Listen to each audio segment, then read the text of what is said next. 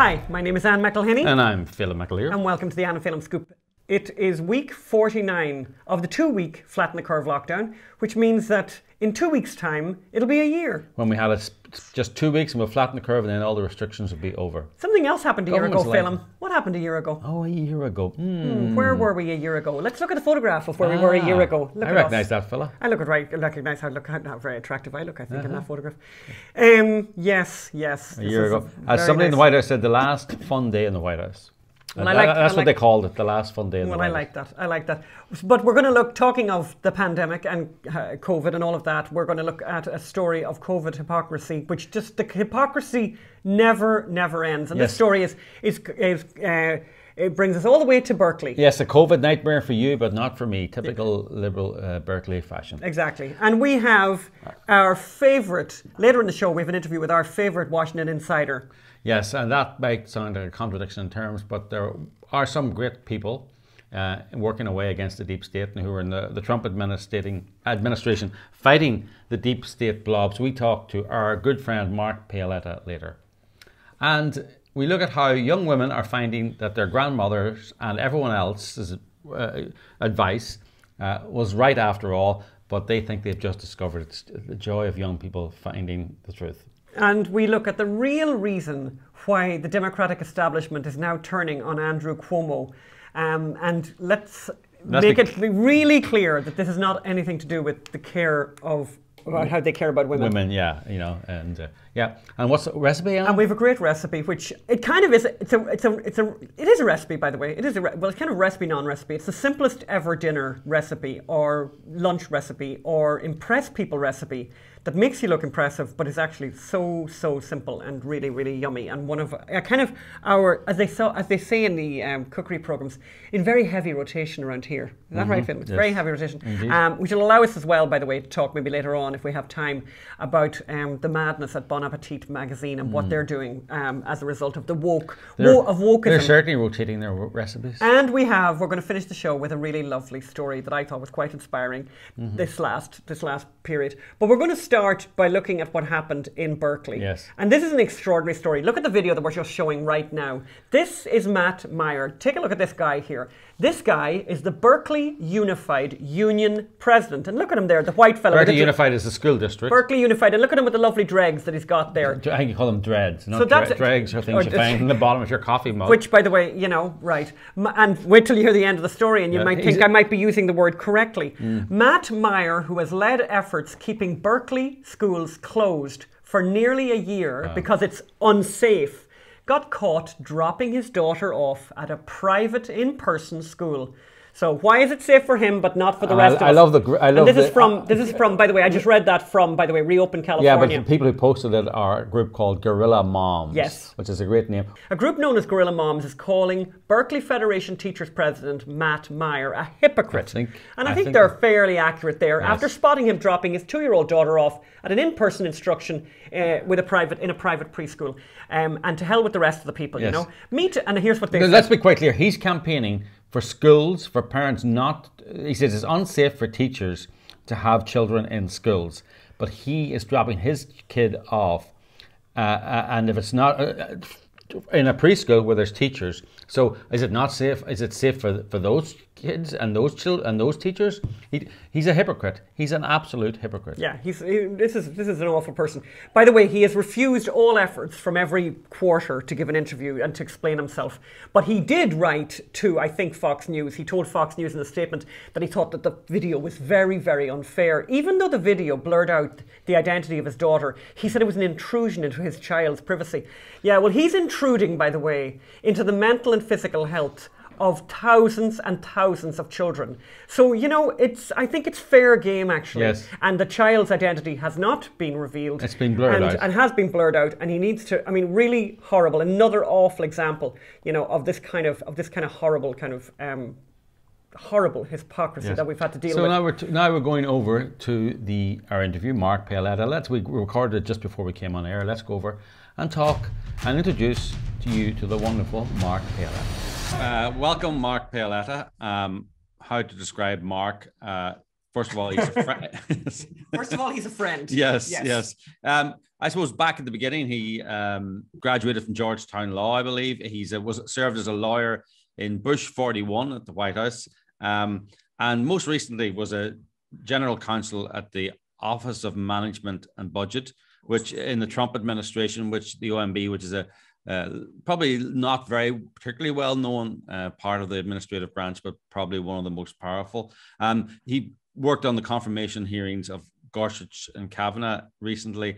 Um, the, the, Washington Post, which uh, quite funny, the Washington Post did a profile of him recently uh, and described him as a hard-charging conservative lawyer, little known to the public, who's responsible for executing some of the White House's most divisive and legally aggressive moves. Certainly, one of his greatest achievements was uh, pushing the Clarence Thomas uh, confirmation hearing. Uh, uh, you know, the early Kavanaugh hearing. You know, people where where Thomas was was accused of of of not very much actually, but uh, it became a massive story, and Mark pushed and is is is very very responsible for Clarence Thomas uh, winning that nomination. Um, he is now a senior fellow at the Center for American Restoration, uh, which is a new group set up by Russ Vought, who is the former director of the OMB under President Trump.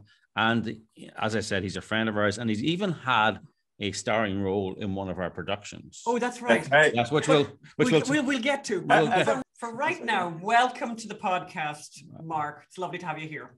And and Phelim, thank you for having me on. It's uh, your dear friends, and uh, I love all the things you do. And uh, so, thanks for having me on. The main, apart from the fact that we like talking to you, the, the main reason we have you on here today is that you recently wrote an article in, in um, Breitbart. Breitbart. And I remember yeah. be- before you wrote the article, it's about how Amazon Prime have stopped streaming Clarence's a documentary about Clarence Thomas, Clarence Thomas in his own words, basically, uh, in Black History Month. And I remember before you um, you, you disappeared, you talked about where uh, we had a conversation. Where where would be the best place for it? And I we discussed the various options. And I remember saying to you, you know, one thing about Breitbart is it has enormous reach. You know, there are articles on there that get 10,000, 5,000, 10,000, sometimes even 12 or 15,000 comments. I'm just looking, it currently has 23,000 comments.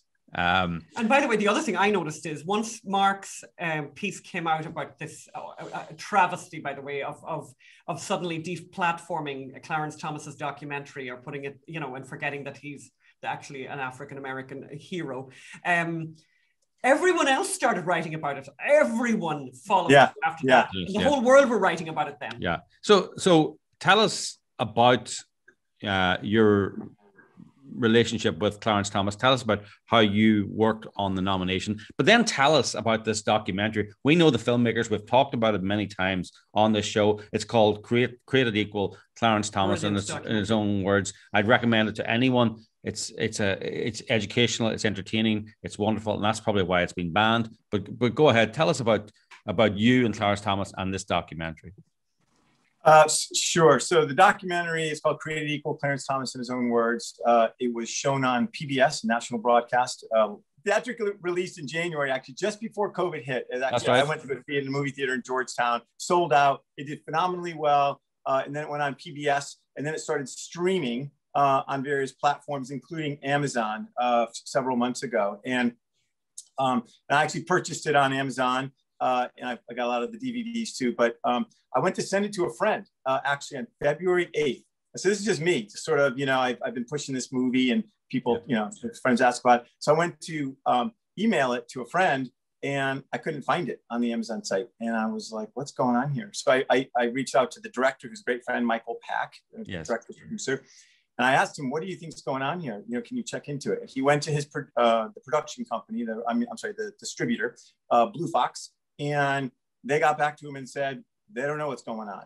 And um, and they never got an answer from february 8th until i wrote the piece and, and today i just checked before i came on. It's still not up. Um, and it went down on february 8th funny enough. So some point on february 8th uh, right before i was looking for it uh, it was taken down. And you know, some friends have reached out to me saying, you think this is a licensing issue? It's 100% not a licensing issue. We checked with Blue Fox. They don't have put any deadlines on their licenses for the films that they distribute. Um, Amazon reserves the right in the agreement to take it down. And in fact, that's what they did. And they did it during Black History Month. And I was so ripped, right, that here's this incredible documentary. Uh, and I'll get to that in a second, that was taken down during uh, Black History Month. And when you go to the Amazon site, the Prime site, and you look at all the movies, they have an entire section for to celebrate Black History Month. That's and that's right. great, that's right? Great. But, but uh, you know, they have to have space for the longest, the only right now serving Black justice on the United States Supreme Court, the longest serving. And when you read about Clarence Thomas, and I, and I, I put this out in my, in my uh, story, you know, he is, as one liberal writer has written, the most important legal thinker in the past generation and the most significant appointment to the Supreme Court in 40 years. Okay. Mm-hmm. So Clarence Thomas is a force, is a phenomenon on the Supreme Court, right? And that's just his kind of legal scholarship, right? What makes Clarence Thomas incredible, right, is his American story, right? And that's what this movie captures, which is born in the segregated South in 1948 in Pinpoint, Georgia, right? Deep South, right? Uh, mother and father, uneducated. Father leaves at two years, uh, when Clarence is two years old. Uh, his, his, mom finds it difficult to raise two kids because she's working a bunch of jobs, and he goes to work, uh, live with his grandfather, with his brother, his younger brother, uh, and that changes his life when he's seven years old. And it's just this incredible journey, an American journey of, of Clarence Thomas overcoming these obstacles.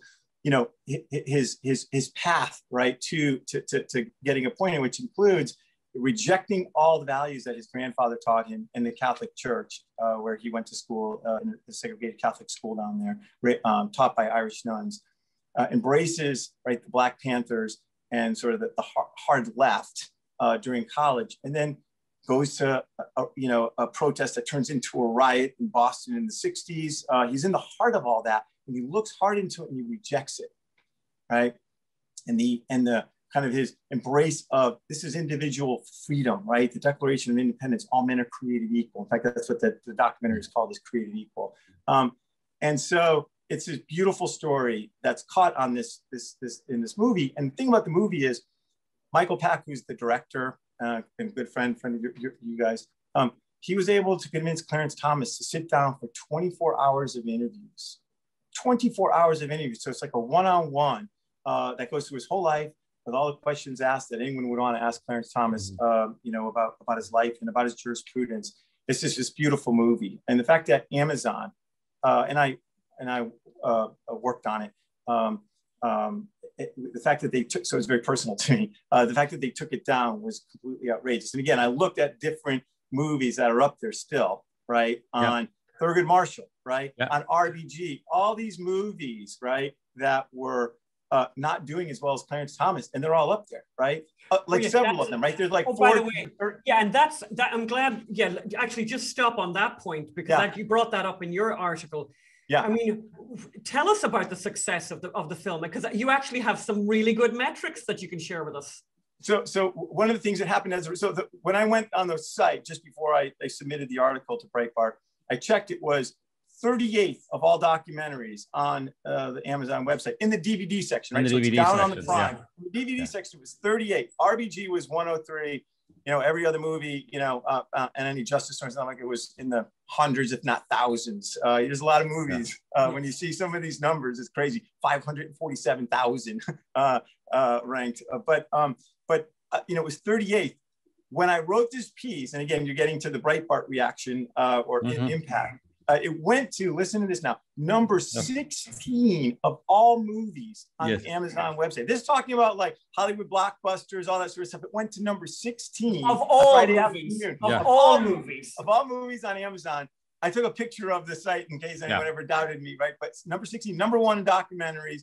They sold out of the documentary. Uh, well, that's what I'm just trying. I was just trying to look. That's why I was sort of. Yeah, so that's gone. It's, it's gone back down. I looked at the numbers just before. Uh, it was uh, 2912. I think of all movies today. I looked at number 21 in documentaries. Uh-huh. But again, I think the if, if you go on the Amazon website, I think there's probably a, another 150 comments. So go by most recent, and you'll see everyone ripped about yeah. it being taken down, right, Good. and going someplace else to watch it. Um, if people want to watch the movie or get the movie, go to justicethomasmovie.com.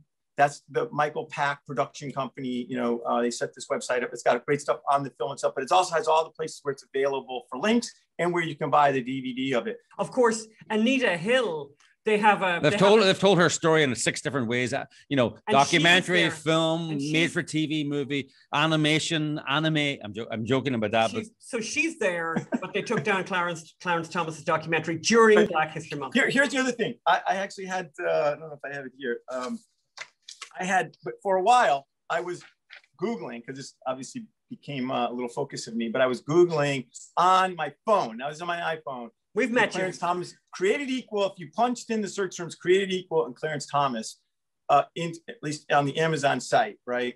Um, you would think, right, given the name of the movie and, and, the, and the fact that it's about Yeah. Clarence Thomas, it would be the first thing that came back, right?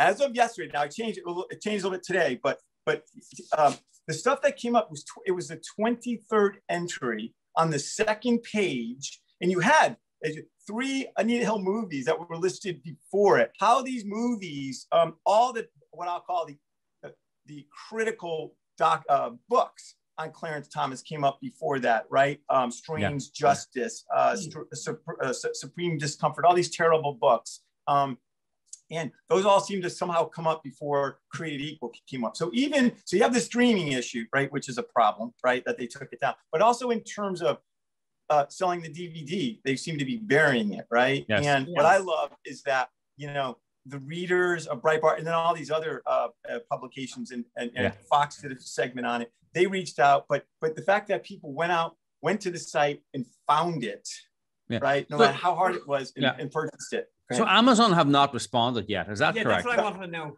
Yeah, that's my, my understanding is um, Blue Fox reached out to them several times and they hadn't responded. I know that uh, Fox News or, you know, Fox and Friends yesterday uh, or on Saturday morning had said that they reached out to Fox, uh, out to, um, uh, to Amazon and they had not responded. Um, I, I, you know, That like I said, sense. some people raised that it might have been a licensing issue. It's not a licensing issue. I Um, wondered somebody about that. raised, as you saw from the, my- I think I, I referenced it in the in the Breitbart piece, and somebody had raised it to, to me before as like one of the what- what maybe it's that, that Amazon was taking down a lot of documentaries um, across the board, um, and some of them may have been liberal. And and I, as you see in my article, I'm like, I don't care if there if there's a lot of ones that are being taken down, and some of them are liberal films. This is a documentary that's critically acclaimed that was shown on PBS, right? Uh, incredible reviews. Right? If you, I think, if you look at all these other movies on on, on the various uh, folks involved at the Clarence Mm. Thomas, they have zero, very few reviews. Right? Clarence Thomas movies at, is at 4.9 stars out of five. If you go to the uh, Rotten Tomatoes site, it's a, I think a 90. 90% audience score. Of course, the critic score is is 33 or something like Of that. course, but it's a, but it's a, but but again, you had the a Pulitzer Prize winning uh, writer uh, Kathleen Parker from, at the Washington Post say it was a masterpiece, and um, and, and that Clarence Thomas is an American hero. After watching that, and there was not a dry eye in the theater when she saw the movie when it was in uh, the theatrical release. So. Um, now, going back to, I, I was lucky enough and fortunate enough to work in the White House in Bush 41, and um, I won't take too much time here, but I actually met uh, Clarence Thomas in 1983 when I was in uh, senior in college, um, and uh, met him up in Bridgeport, Connecticut, of all places, my hometown. Spent a couple hours with him um, um, at an event that I met him at. Um, and because of that, when I was in the White House a few years later, I, I volunteered to reach out to him uh, when we were considering him for the DC circuit. And I reached out to him and asked him to send me uh, all of his writings and materials. And I, I read them. This is at the time he's the EEOC chairman. Mhm. Uh, and he sent me everything. We had a great talk. And you know, anyone who meets Clarence Thomas immediately loves him, right? So you can imagine I was 26 years old. I reached out to, to, to Clarence Thomas and Mm. we ended up talking for an hour, an hour and a half. And you know, you immediately love him, right? And um, he sent me all his material. And you could see him throwing thunderbolts back then, right? Just taking it to Congress, taking it to the civil rights establishment, taking it to everybody, right? Calling out the hypocrisy. And I loved it. I was so excited reading it.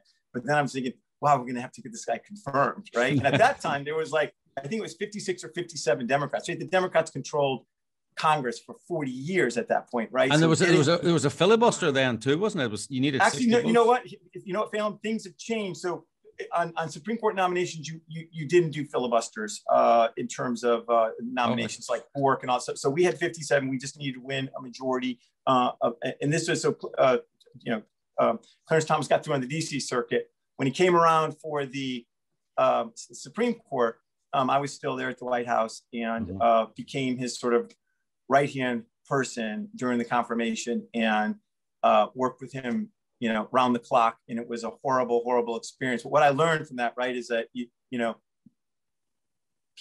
when you stand up for something and you stand against the grain, people are going to attack you, right? Mm, and they, and they can even make things up because I believe the Anita Hill story is completely fabricated. Okay, um, and I saw the toll it took on him and how awful it was to go through it. You know, go, go, go through it, and, and it, was, it, was, terrible for me.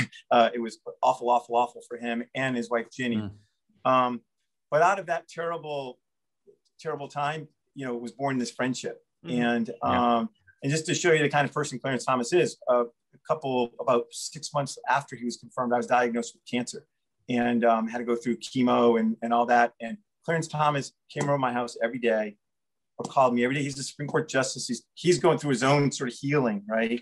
And he came by, brought me hamburgers, brought me pecan pie. Um, uh, just hung out with me, took me out to his new house uh, that they were building, and uh, just was a wonderful, wonderful friend. So we've been friends ever since. Um, I set up a website called justicethomas.com, uh, uh, which is another website which has a lot of his writings uh, and opinions and articles about him.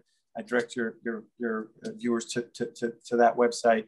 But um, and I've watched him on the court, obviously, and he is, you know, and, and from day one, as I point out in my article, there's not a lot of hyperlinks in that piece. Uh, I, I, wrote it pretty fast because I was mm-hmm. pretty ripped, and uh, so a lot of times I put hyperlinks in. But um, Jan Crawford wrote a great book. Uh, she's a CBS Supreme Court reporter.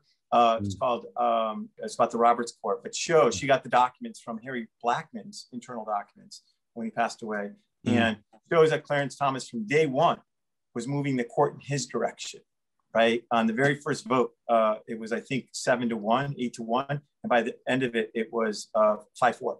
Uh, Thomas had moved. It was still in minority, but, um, but he had moved, brought all these justices to him in his, his argument.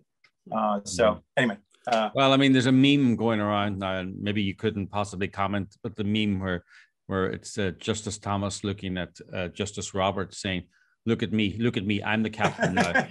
yeah. So um, I mean, it may be, you know, they may talk about the the Thomas Court in, um, you know, maybe they they are now, but we're we're looking at, and it's not just the Thomas Court, but he's he's bringing lots of people, like you know, lots of people don't know how bad socialism is until somebody sits down and tells them, you know, and when you've got someone like Justice Thomas telling people and telling young lawyers this is wrong and here's why it's wrong.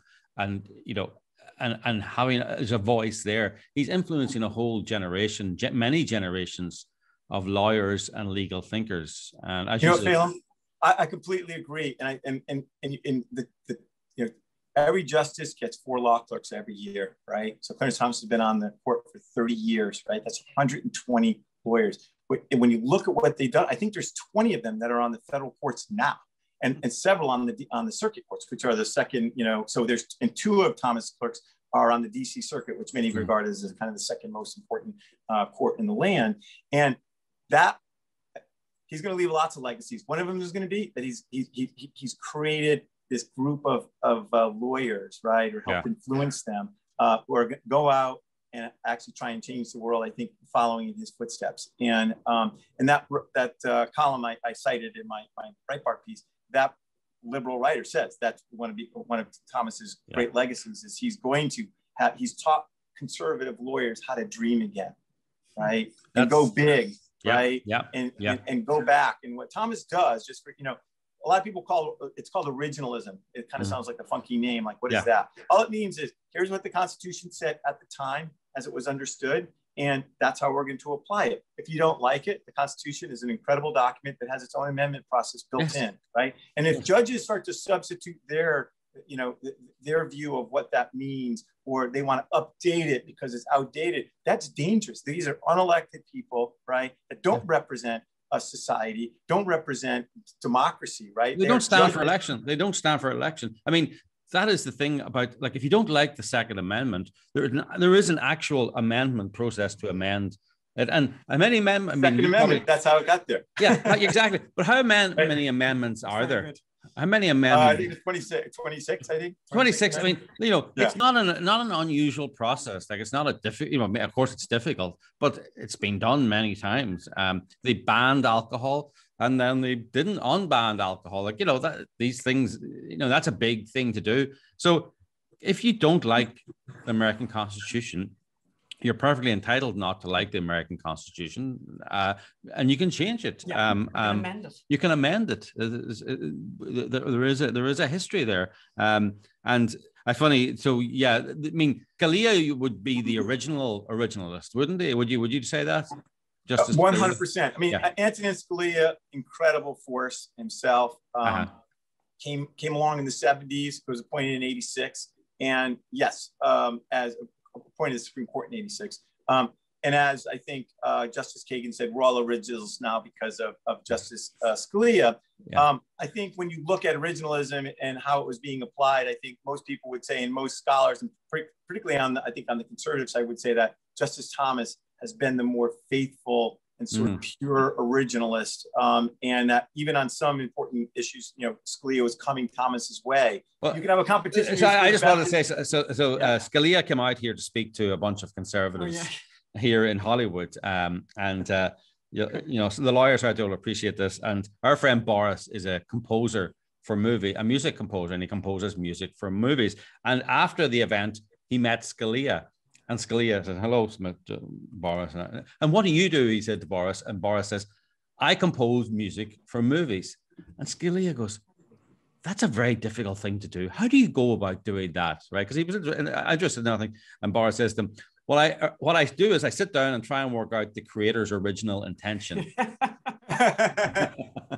Scalia thought it was the funniest like thing that. he'd ever heard, you know. So, yes. Well, that, that, that is actually uh, seeing the score developed for the Created Equal movie and the the, uh, the composer uh, was really revelatory to me. So you know, to capture, you know, you, Yeah. you see it all the time in backgrounds of movies, and but but seeing it on a movie I have worked on and then put that score on. But that is a funny thing. That's a Yeah. digress. By the way, but- just you know, when you say that, and again, we we couldn't recommend uh, the, the the film more. It's really really beautiful. It's it's extraordinary actually, and very moving. As, as you say, not a dry eye in the house. We've watched it a number of times now. Um, what can people do? You know, people who are listening to this and who are angry, people who have either seen the movie already or are planning to see the movie. What should they do to to register their disgust of what, what happened during Black History Month? leaving comments on their site is a great start. Um, you know, writing uh, to Amazon. Um, you know, um, I, hopefully there'll be more stories. I'm, I'm waiting for I'm, I'm waiting for the answer as to why it's um, you know, but but buy the movie, go other places and, and watch it, and leave a leave a review on Amazon about you know, and and and um, so I was really encouraged by you know how people responded, you know, to to, to my article, but to all the other articles that came and, and coverage about it, because it really is outrageous um, Yeah. that they, you know, that they took this movie down.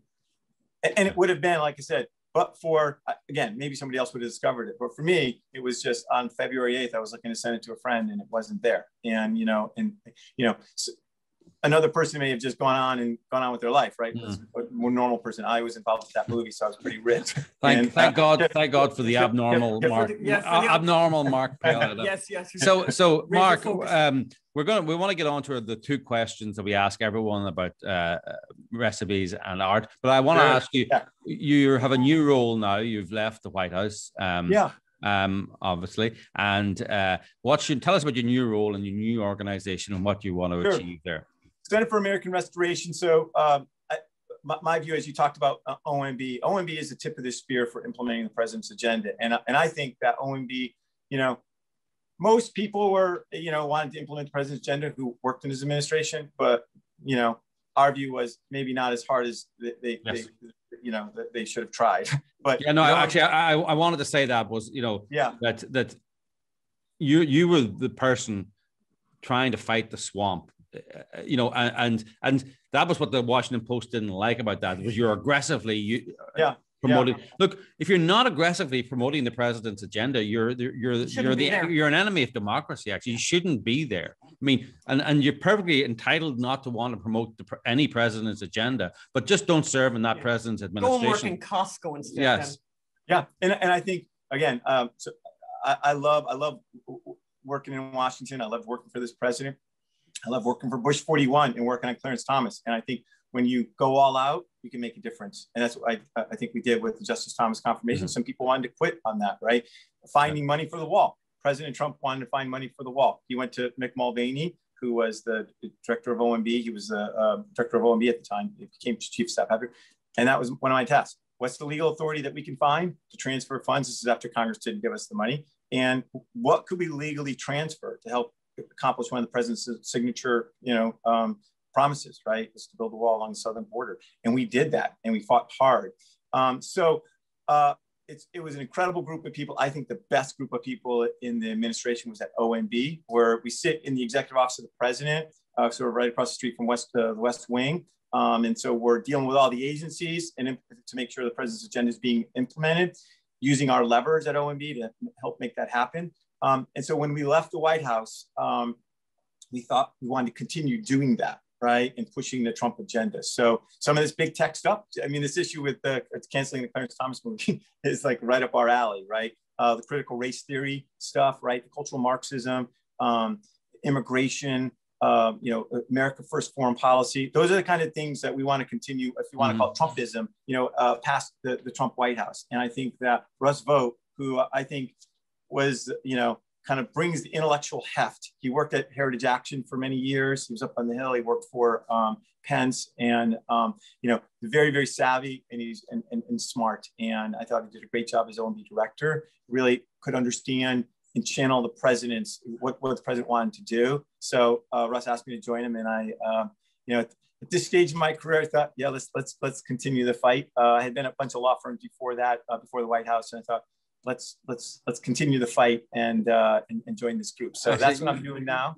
You, and, yeah, you, um, good, good, good. Where can people find out that? that uh, what's the website for that place? For uh, it's, it's AM uh, Restore um, Center at AM Restore Center. If you guys put up on your site, it'd be great. Yeah, um, yeah. And um, yeah, uh, yeah so I'm I'm looking forward to working with those guys. Yeah, just yeah, yeah, you talked about Mike there, uh, uh, and we need to tell people. So Mark, we met Mark I don't know, yeah, 10 years ago, I don't know, whatever. In, in DC, we were introduced by a friend and uh, we became friends. And then I actually, when I, I first did Ferguson, yes. um, I wanted to go to DC and I want to just give people a little taster of what it was about. So I, I hired a theater in DC to do maybe half an hour of the, the Ferguson play, which is an which is an hour and a half, and it's a verbatim reading of the grand jury testimony. And one of the characters in it is He's a lawyer, is the prosecutor, uh, uh, and you thought, do I know a lawyer in DC who could play a lawyer? Yes, and Mark very kindly played the lawyer and was fantastic actually, and, and it was a great experience. Bob. McCulloch, right? Bob McCulloch, yeah. Bob McCulloch, right? Yes, yes,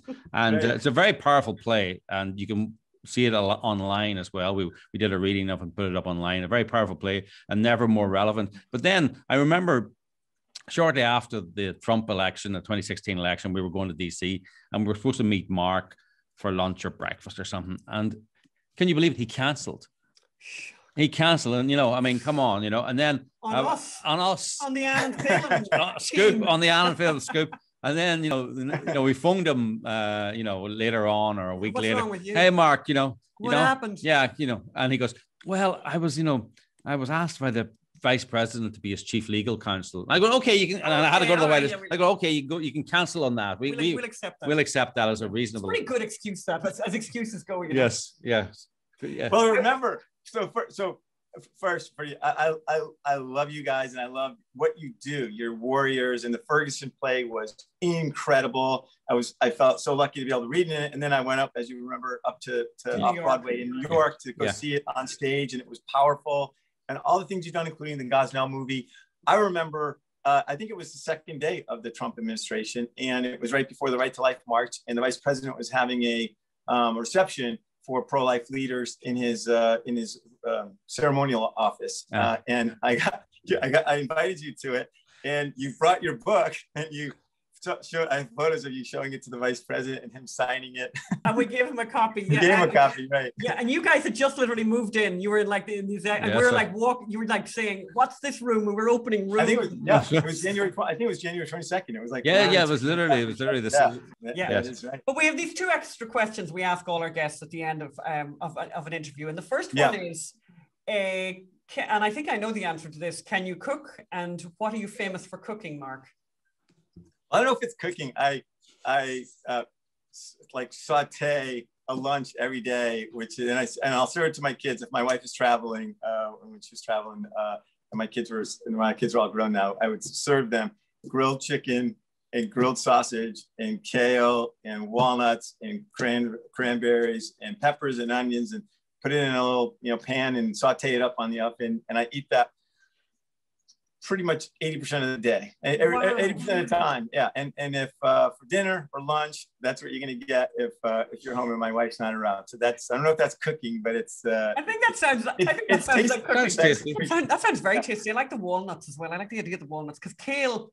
Yeah. You know, I'm I funny. Well, he's he's I used to do- I DC. I mean, you know, he's not. You know, I mean, he, He'd fit in right here, by the way. The Californians. yeah. love He's that so. I mean, you know, you can't live in DC without getting a bit of the swamp in you, and I think that kale is. A, yeah. kale's crunchier i used to do spinach but kale's kind of crunchier Oh Yeah, yeah, yeah. that's Spanish. I can't do it. Yeah, you Spinach get those stalks that are like a little bit crunchy And then the Yeah. other question we ask people is a piece of art, a poem, a sculpture, a piece of music, and I love. I know you love music.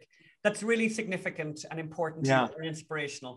yeah so love love love love music and movies i, I saw your, your you know um your question um right now i'm totally obsessed with sort of the muscle shoals sound right which is uh, the music uh, that's kind of the soul music from the 60s it was a it was a recording studio down in north alabama is it so there's a dvd called muscle shoals okay uh, which i highly recommend how do you spell watch. that? How do you spell that? It's M U uh, M U S uh, C L E uh, Shoals S H O A L S. What is it about Muscle Shoals? It's just a little village on the Alabama border. Why does that music come out of there? Each time a person went to Muscle Shoals, they came out of there with a hit. Record making like that doesn't happen often. It usually takes somebody like Rick Hall with the drive to do it. I was going to kick some ass and take some names. I wanted to be somebody.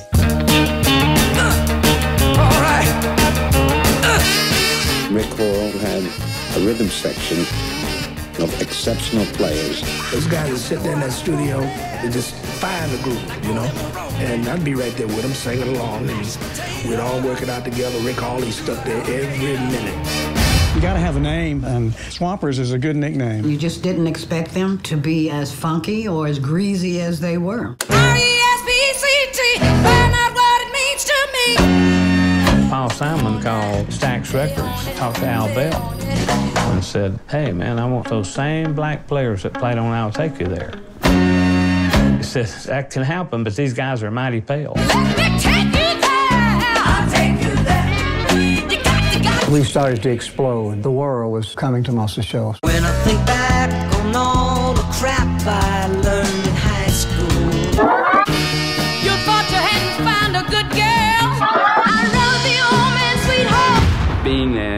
inspire you to do it differently. It's like when they're coming out, your stop boom. It was being funky, you know, that was the whole idea of it. I began to tell him of this great new deal we'd made with Capitol. One of the guys stopped me and said, We've already made a deal with Jerry. We'll be leaving here.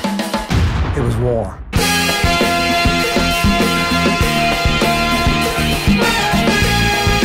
Hear some of the greatest voices that ever were.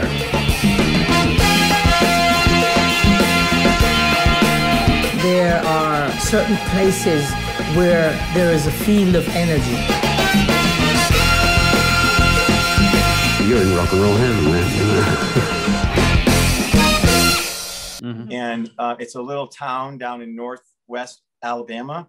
And that is where Aretha Franklin recorded. That's where the Rolling Stones recorded. That's where Bob Dylan recorded. That's where Wilson Pickett recorded. Mm. It's this Wow. incredible music uh, that came out of that. There were two, there's two studios down there. There was one, and they broke one broke away, and they started a, a competitor one. And it's this incredible story, but it's a, it's this great story about America and the and the and the folks in that movie And, I, and right after the White House ended, I think uh, three days later, I drove to Muscle Shoals, Alabama to go see the two studios and go down there. And I went to Memphis. So uh, music wise, it's that whole Muscle Shoals sound, Aretha Franklin, Wilson Pickett, uh, Otis Redding, which is coming over from right Stax, which is in Memphis, but recorded down there. Um, So that's what I've been watching and, and listening to a lot these days. Okay, I think a- we're gonna we need to we need to check that out. Yeah. We need Yeah. to check that out. But but thank you so much for your time today, Mark. And I just think one thing I just want to say before we go is, you know, the Trump administration, we're very, very lucky to have you. Yes. Um, I just I, I just love this little sh- I want to share this little tiny thing. Just when things, you know, when the when the administration was coming to an end and there was the admin, the, the new inauguration and all of that stuff, I remember texting you and saying, you know, where are you? What are you, how are you feeling? How are you doing? And and you basically wrote back and said, well, we're going to be here right to the very end. And, you stayed, and I loved that because we heard of so many people who kind of opted out early and stuff like that. But I actually had expected you to have gone on Friday or whatever. But no, you stayed until, Until the noon- very, noon very, of inauguration. whatever it was, whatever the cutoff Yeah. was. You stayed till lunchtime and then you handed the keys over, whatever. And I just thought, I just, I loved you for it. I thought, this is, you know, we need more people like you, Mark, who do that kind of public service and take it so seriously and worked and did everything you possibly could to to make the agenda of the Trump administration um, a possibility right up to the last minute. I just loved that.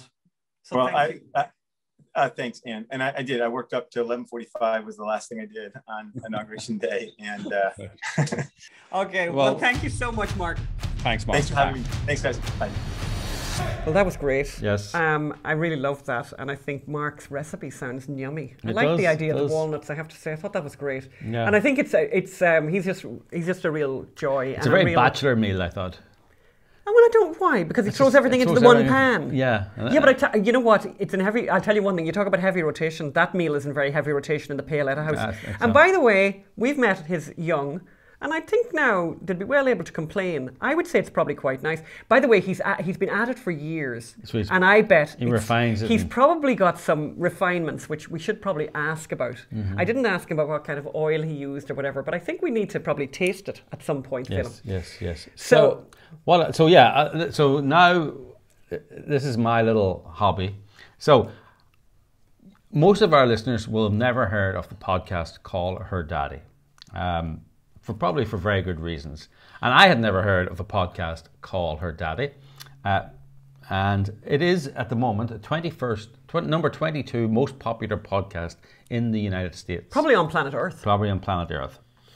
So basically, it's a it's a sex podcast uh, where two women are talking about sex, and and, And I my mean husband listens to this. and I mean graphically talk. My your husband didn't listen to it. So uh, what got me interested in it was that they started off as a podcast, and then they were brought into the Barstool Sports arena uh, and promoted. Which is a platform. It's a platform, and it's a sports platform, and it's a podcast. so it was a really big thing to happen And, and, and, and Dave Portnoy, the guy who runs it, is basically a conservative, right? He's the guy who, when he saw all the businesses being closed because of the lockdown, went online and raised, a last I counted, it was 18 million Hmm.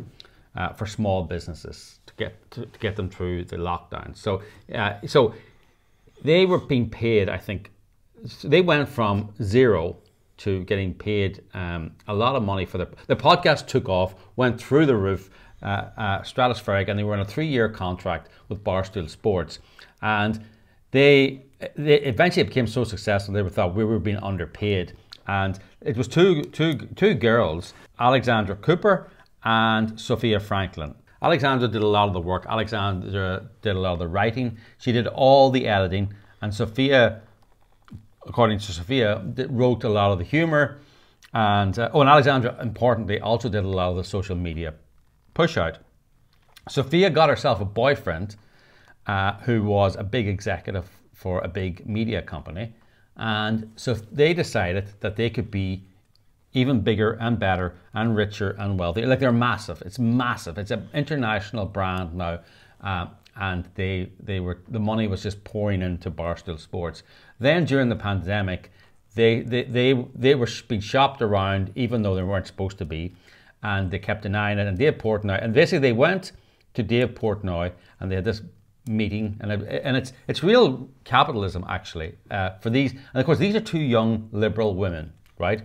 I mean, and liberal actually liberal is not the word for it. Libertine is the word for it. I mean, these this is this is sexual promiscuity. This is anything will go. Um, you know, it's it's it's tough listening sometimes uh, if you you know, and I wouldn't advise. It's very very very R-rated. Um, but now you have these two women who anything goes. We're crazy. We're, we're party kids. We love each other, and and they live together too, and they were best friends. So they go and they confront Dave Portnoy and say, "We want more money. We want," and they literally went, "We want a million dollars a year, and we want to own." Uh, all the merchandise and 80% of any alcohol sales that, that comes out under our brand. And Dave Portnoy goes, okay, basically, okay. Gives he gives you know he maybe he says no and then he says okay, but then Sofia, her boyfriend has been yapping in her ear, and Sofia says no no we need to go off and we need to be our own brand and we can be big. And Alexandra, who's the workhorse of the group, says, well actually I'm the workhorse. I know how much I worked to start from zero. I don't want to start from zero again. So they had a fallout, and it was very interesting. It was young liberal women finding out about capitalism and reward for merit and who does the work and who doesn't and who's the freeloader. And Alexandra said, You're the freeloader and I don't want anything to do with you. So they split. The Call Her Daddy team split and they, Alexandra actually calls she became a single father. And she then continued with the Call Her Daddy brand uh, and has been doing remarkably well. She's number the number 22 most successful podcast in America. But I think she has become rad- you know radicalized. So, so it's this strange, and now she's getting into her mid to late 20s, and she now uh, the latest show uh, which I listened to last night because I couldn't sleep. Um, it normally puts me to sleep uh, because it's just mindless yatter. Alexandra Cooper had a woman all called Paige DeSorbo, and she is a reality TV star and a blogger, and she's in a program called Summer House, which is on the Bravo channel, and she's relatively famous. So they're on and they're talking, and of course, this all started. This series started off as we can say anything about sex, and they do, and it's it's ultra R-rated, and I wouldn't recommend that you listen to it. But I've noticed that the, that the, that the series is changing, that the pro the podcast is changing, and this week was like I was listening to it going, do you, do you can you hear yourself? So this her and Paige DeSorbo. First of all, uh, they talked about uh, took questions, and of course, the questions from real people out in the real world are are very often are, how can I get married? How you know? I mean, basically, how can I keep a man? And you know, they're going, oh, you don't need a man. And eventually, you know, there's this disconnect. But so there was it was a question. Uh, what happens? Have you ever had a man, you know, ask you to go halfers on a date, and what do you think on that? And she, she they, they go into this rant about basically, I mean, how awful it is if a man expects them to pay for their date or even pay half of For their dinner, date, for the dinner. for dinner, and then they go, you know, ultimately, man, you got to understand, we only want to be taken care of. I'm all for like equal like, rights in women, and I'm down to split things. I'm down to pay for things when like we're in a relationship, like absolutely. And I like being able to buy my own because I hate feeling like I owe someone something. But like at the end of the day, you're trying to date me. Like that's why we're going on dates. We're hanging out. Like we're seeing if this could be a relationship. And like, come on, dude, it's one dinner. when you're in the beginning stages, like if you're asking me out on a date, Yeah. you're paying. And I know maybe that sounds like a little stuck up, but like I don't give like if a guy's asking me on a date, I'm Yeah. shouldn't even have to bring my wallet. like it took me two hours to get ready for this. My Yes, my makeup, makeup. is ten grand. like if I threw all of this away and had to go buy it, I'd spend five thousand dollars. You can pick up this hundred dollar check for some dumb pasta you bought me. And I know it's superficial, but it doesn't. Girls can be superficial. Anyone is superficial when you get something nice that you're not expecting. Yeah. It's like, oh my god. It's also was like- really thinking. It's like human instincts. Like, of course, we want to be equal to the guys, but there is like an innate feeling of like we want to kind of be.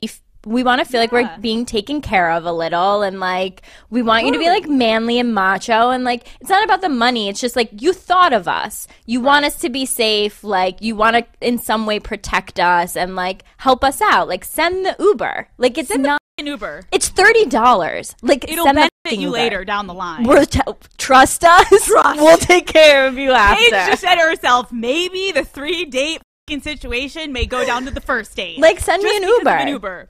Basically Jane Austen. It's Jane Austen. basically You know, 19th century. Treat us nice. Send us an Uber. So for know. all their R-rated chat and all of their kind of super uber liberal kind of ways, they're extremely conservative in what they really want. When you boil it all down, they want someone to take care of them, and they actually even use the word that they want men to be kind of man up Macho. and be macho. Yeah, let's hear a little bit of it. Now, honestly, we have to be very careful with this because it's very R-rated. So you'll hear a little bit of this. Uh, You know, enter this podcast at your own risk, uh, and and you probably don't want to enter it. So then then they go on to talk about boys and how to get a boy and how to keep a boy and all this, and they come to the startling conclusion that if they are sexually promiscuous uh, after on the first night or, or the second night, that men won't respect them and won't date them long term.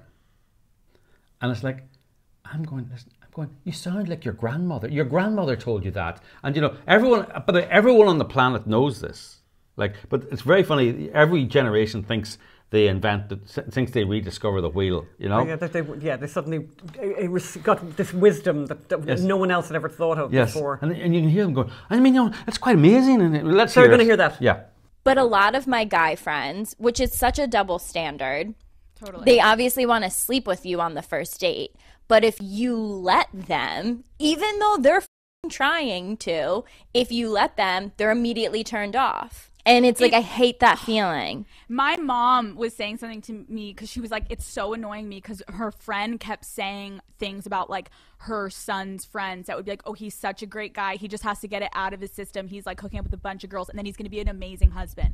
Can you imagine someone ever saying she just has to f- Yep. with all these guys, get it out of her system, then she's going to be an amazing wife? Why is it a double standard? No. Yourself. It's so annoying because all of my guy friends. This oh my god, this brings up such a Oh. good point because all of my guy friends are like, we're not ready for relationships, and I was like, no, I totally like I get that. Like you don't get in one if you don't think that you can be faithful to someone, but like they're like, but you're the type of girl we'd want to date. Like you're independent, like you're funny, you're successful, and I'm like, I'm right here, right? so like if you want to date me, I, I'm right, I'm right here. But like if I ever said, yeah, I'm just gonna go like all these guys and like I'm just I'm not ready, they'd be like, You're a whore. But actually, here's my favorite. So there, there's my favorite line from them. Uh, they're talking about trying to make a go of it in New York, and uh, let, let's hear let's hear the shock that Paige DeSorbo had when she when she finally got her act together in New York.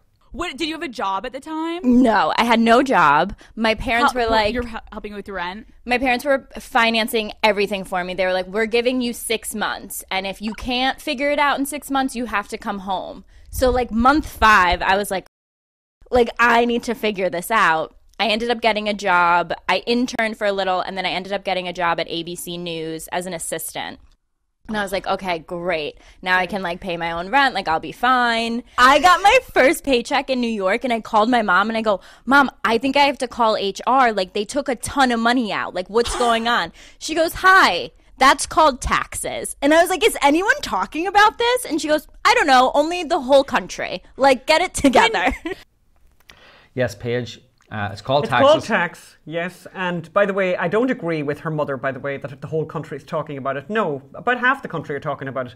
The other half, you know, don't seem to understand that it's happening. Yes, uh, well, you see, this, well, a lot of people are. I mean, the problem is these women are. I mean, because their podcast is so successful, they're probably wealthy enough to pay lots of money in And they don't care because and they, don't, notice it because they've got still they've got half of a huge amount of money is still a, huge, amount, of money. But I had, I really appreciated the shock that they had when, especially living in New York, you pay fifty, maybe more, sixty percent of your. But I would like to just make a disclaimer here, and, and you know, and try and you know uh, explain my husband's behaviour listening to this very R-rated podcast.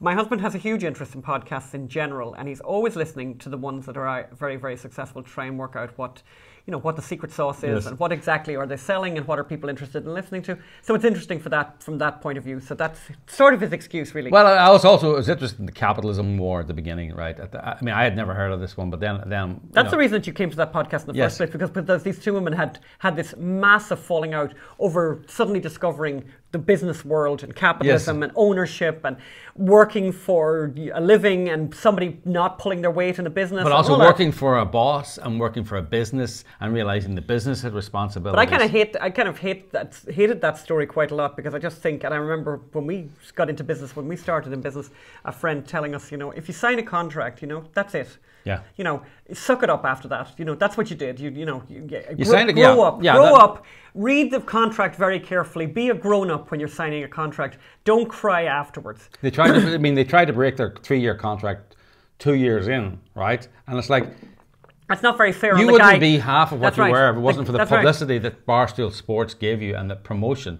And now you're using that and trying to break your contract. Okay, we're moving right along, and we're moving on to no, to Governor Cuomo of New York. Governor Cuomo of New York has been has been getting a lot of attention lately Yes. in the press, but not for the reasons we think he should be getting the attention. He's getting a lot of attention for apparently for sexual harassment, right? Yes. And by the way, the second woman who has accused him of sexual harassment, I can say as a woman, I found I, I was like, um, seriously? Uh, so the woman in question is upset because he asked her, was she monogamous? I mean, And would she date an she ol- date an older old man? guy? I the first woman now who he grabbed apparently and kissed, totally different situation. Yes. But just to talk to someone that you're working with and ask them, would you date an older man? I actually think it's fairly legit. But anyway, he's getting enormous attention. Yes. Now the media is like they're all over this thing and they're about trying. They're going to fire him. But the real reason they're going to fire him is because they know he what he really did. that he killed killed not- all the old people. Yeah. Because A lot worse than he didn't want to accept accept Trump's offer of the ship. He didn't want to accept the Javits Center, the, the Trump Javits Center. So he sent the old people back to the old people's home, killed about ten thousand old people, and then covered it up, as his aide admitted on, on a secret taping. Covered it up. He committed criminal killing of these people and then a criminal cover up and and they know that's going to come out so they're trying to get him out and that'll make the democrats look bad and, and you know what it'll probably make trump look a little bit better so they don't want that to get out so they're happy to throw governor andrew cuomo under the sexual harassment bus because it'll take attention away from the fact of what he actually did. And what he actually did was refused the help Of of, the, of, the, of President Trump because he didn't want President Trump to look good. And President Trump actually had really stepped up with the situation in New York, which was a really bad situation, where it was mm. like one of the worst places on the planet Earth in terms of COVID, and where the president had come up with a brilliant idea by sending the Mercy ship, which was sitting in the in the harbour, where the older people coming out of hospital still with COVID but recovering could have gone there, could have safely been quarantined there in a very nice situation with great mm. staff. The whole thing was all well set up, same as the Javits Centre. Neither of those facilities were ever really used, and instead he insisted on denying on denying Trump any kind of glory and sending those people back into an unsafe and making those safe environments of those old people's homes extremely unsafe for everyone, with the result that thousands and thousands and thousands of people died unnecessarily, and it's a horrible, horrible Yeah. situation. Yeah. Um, but it, you know, um, he's getting his comeuppance, but he's not getting his comeuppance for what he should be getting his comeuppance for. yeah And we have a great recipe. We have a really great recipe this week, which is our kind of heavy rotation recipe around here, Mhm. and it's really great. And you'll see me now. our paoletta It's our it's our paoletta. Look out! I'm out here on the patio working on this. So this is a, two nice pieces of salmon here. Um, and some sometimes, by the way, people like their salmon a little bit less cooked, more cooked. And actually, having two pieces like this is actually useful because one piece will be cooked more for those people who like it that way. And all you got to do, all you got to do. I have a this- question about that. And by the way, what I've chosen here, I'll get your question in a minute. What I've chosen here, by the way, is wild caught Alaskan salmon, which I'd highly recommend. It's got all the right omegas, by the way, and it's got a lovely natural colour there. Dry it off. It needs to be dried off. Dry it off really, really well, and then pepper and salt. What's your question, Phelim? so you know where people say that the hottest part of the oven is the top of the oven do they say that People say all kinds of things about ovens, and ovens are all different. That's the other problem with an mm, no, oven. but in general, so I find though that if you put something at the top of the oven and something at the bottom of the oven, the thing at the bottom of the oven cooks quicker.